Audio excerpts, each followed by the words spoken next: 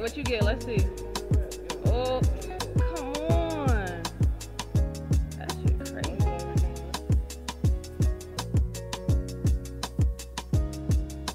Do they detach or is it one structure?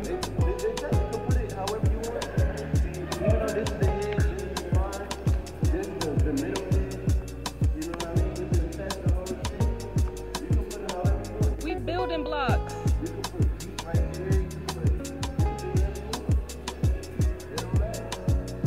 Is the solo we've been missing too. I these blocks as a kid. Brand new.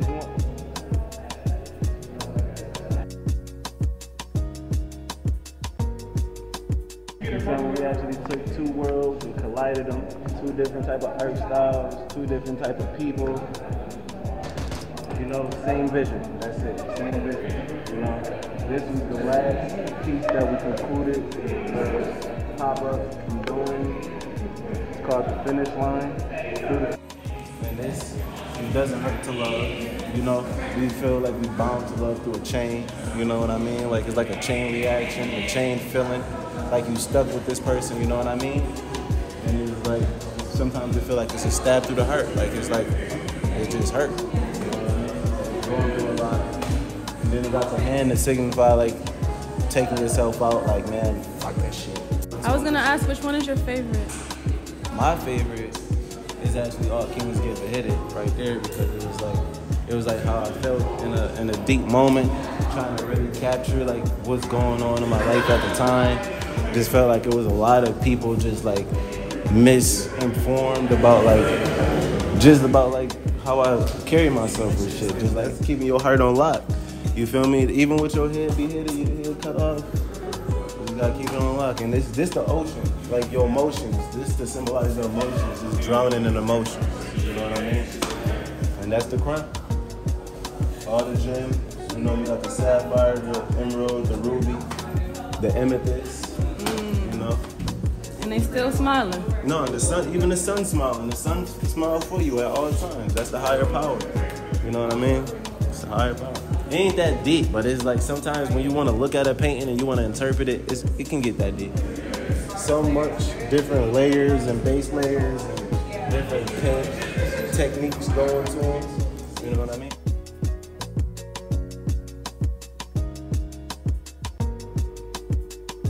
Moon man, how you feeling? I'm feeling great. I'm great. So I'm excited. You know, we're taking it all down pretty soon. On to the next thing.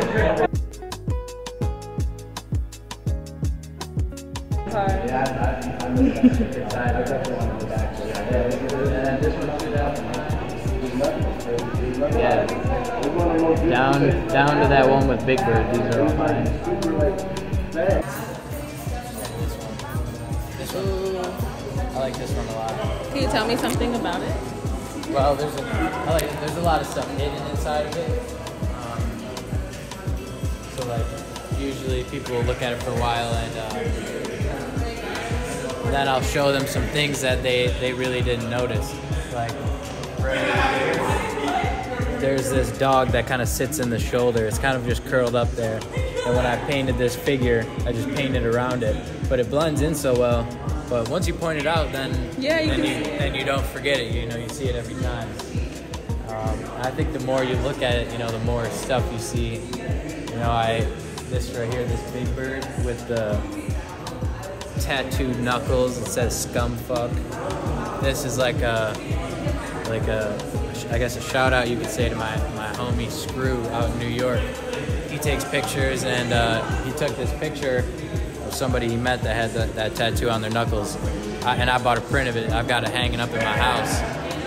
And so I decided to put it into the piece. Kind of, it's kind of uh, like Wait, what is that one famous pick with the pitchfork? Is that? Yeah, so the Oh, American okay, Gothic. yeah. so that's what I named this, American Gothic. Um, this is kind of like a portrait of me and Chenzi that I drew. Yeah, that's why he's got the pitchfork and like I used a bunch of different, uh, bunch of different like mediums. So I used spray paint and like The hand is like oil oil pastels. Same with the pitchfork. The Marlboro Marlboro. That's oil pastel as well. I use I use the airbrush, spray paint, charcoal. Everything I've got, I just I just pick from it and use it. True artist shit. Like you put all the mediums together. Yep, yeah, I don't really, I'm not concerned with making something just one thing. I don't know, it doesn't excite me really. I, I, I like mixing the different things like like a, a like a oil painting of, of an object that's like very smooth and then you know something clouds drawn with crayons or you know about to say, even with the stars, you can kind Right. of see the definition and the shadowing work that it made because you use different, like, Yeah, yeah. I did the stars with the pastel and then shadowed it with the airbrush. Yeah, it's like I always tell people that painting is uh, painting and skateboarding are like my uh, two, two, two outlets of expression. You know, uh, I, don't always feel like I'm great with explaining how I feel, talking about it or writing about it. So I like to draw and paint and skate.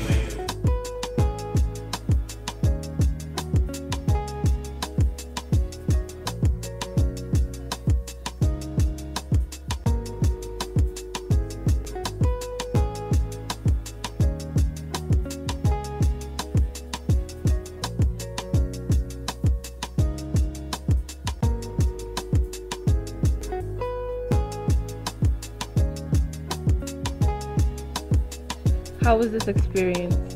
It was great. I think I've been telling people this.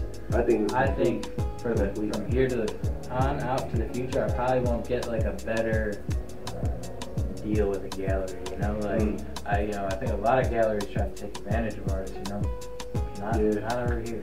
So I feel like in the future, You're right about that. it, you know, this will be the this will be the best gallery I've been in, and it's my first one, but I already know it. Yeah. Shout out I hear Bam. that. No, I Oh agree. yeah.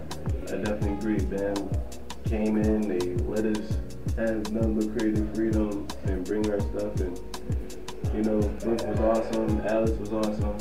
And of course, her hit us very well.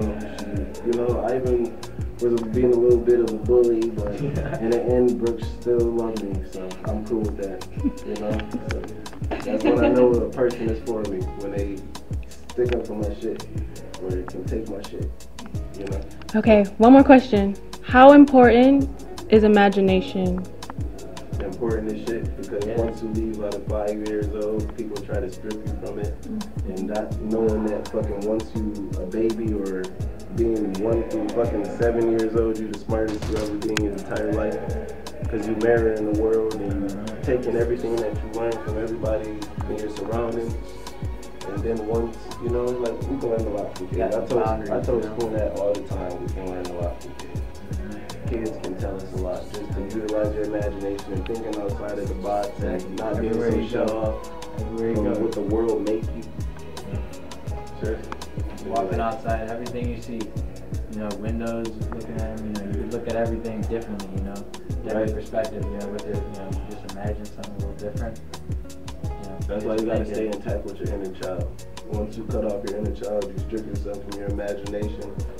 And just to even think outside the box and be free and accept people and stuff is like we so programmed to judge others and I don't know, it's like it's kinda rude. It's rude. Stop judging. Stop judging. Yeah, be nice. Be you. Don't, you know, just be you. You're okay with who you are, judge. you're gonna be like, oh, dude, this, that. You know, just be cool. Be you. Be you.